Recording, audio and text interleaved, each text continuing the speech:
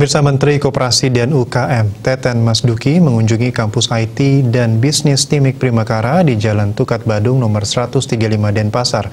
Kunjungan Menkop UKM diterima langsung Ketua Timik Primakara Imade Hartana didampingi Vicky Cikara Satari selaku Ketua Umum Indonesia Creative Cities Network ICCN dan juga staf khusus Menkop UKM bidang pemberdayaan ekonomi kreatif serta Direktur Pemasaran ICCN Ide Bagus Agung Gunartawa.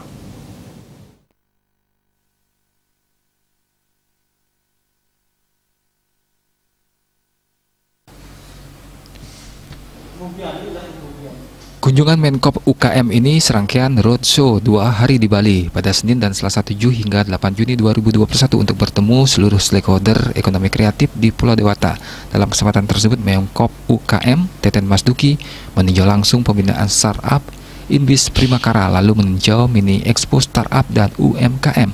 Menkop dan UKM Teten Masduki sangat mengapresiasi kampus Timik Primakara karena telah berkontribusi dalam mewadahi para UMKM khususnya di bidang pemasaran melalui aplikasi digital.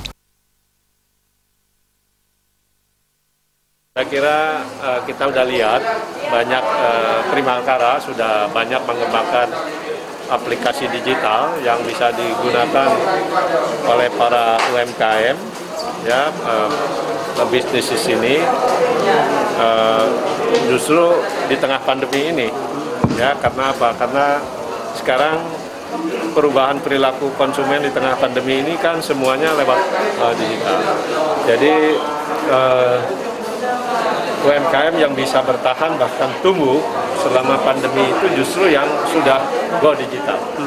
Ya, uh, tahun lalu uh, untuk beberapa sektor, sektor makanan minuman, uh, pemeliharaan kesehatan itu naik 26 persen baru tahu juga bahwa ada Primakala yang menurut saya keren, ya, hebat, dan ini bisa jadi kayak semacam plug and play lah di Amerika, uh, yaitu memberikan ruang uh, kepada anak-anak muda untuk Ketua Stimik Primakara Madi Artana menyatakan dukungan Stimik Primakara untuk penguatan ekonomi kreatif ini dalam dua hal yang utama. Pertama, penumbuhan wirausaha, startup baru, UMKM baru di bidang ekonomi kreatif. Kedua, penguatan pendampingan digitalisasi UMKM. Pesan beliau adalah jangan mengharapkan hal yang sama eh, dengan kondisi yang dulu.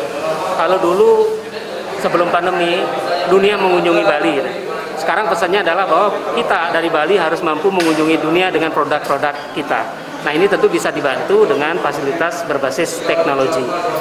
Beliau cukup surprise bahwa sebetulnya di Bali ini komponen ekosistemnya sudah cukup uh, ada gitu, hanya memang belum terjarit gitu. Contohnya pertemuan sebelumnya di BTB misalkan ada ide muncul bahwa harus ada aplikasi nih yang membawa Bali ke dunia. Contohnya saja deh, yang menunjukkan eh, pertunjukan di Bali hingga bisa ditonton oleh dunia dan kita di sini ternyata punya aplikasi konserku